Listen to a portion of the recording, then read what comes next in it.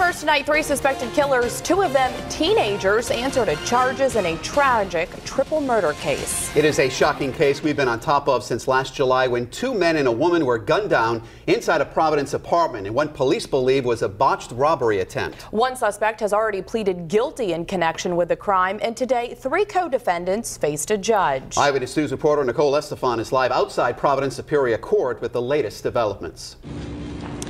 Well, I can tell you this was an emotional day in the courtroom. We're talking about six families here three families for the accused and three families for the victims, and altogether, nine counts of murder.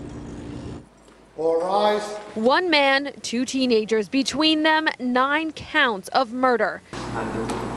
Not guilty as to all counts. Not guilty to all counts, Your Honor.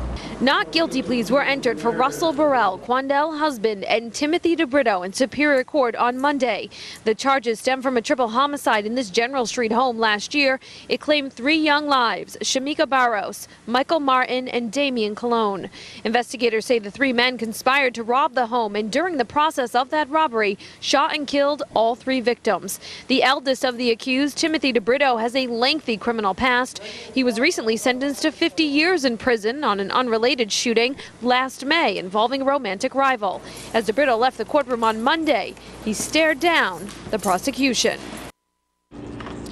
Now, a fourth man, Donovan Hall, waived indictment in this case and pleaded guilty. He will be sentenced at a later date. Coming up at 6 o'clock, we will have very emotional reaction from one of the victim's cousins. We're live in Providence with the mobile newsroom. Nicole Estefan, Eyewitness News.